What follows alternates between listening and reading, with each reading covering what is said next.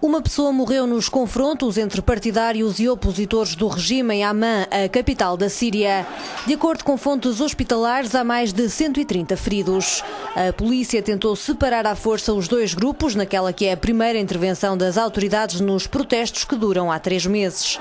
De um lado estavam cerca de 200 manifestantes chamados a protestar pelo grupo Jovens de 24 de Março. Do outro, uma multidão a expressar a lealdade ao rei Abdallah II. À imagem do que aconteceu na quinta-feira à noite, o acampamento montado pelos opositores terá sido atacado à pedrada por apoiantes do governo. Apesar da onda de protestos até agora não tinha sido registada nenhuma vítima mortal, os jovens de 24 de março incluem simpatizantes de esquerda, islamitas e nacionalistas, pedem uma monarquia constitucional, mas não exigem uma mudança de regime.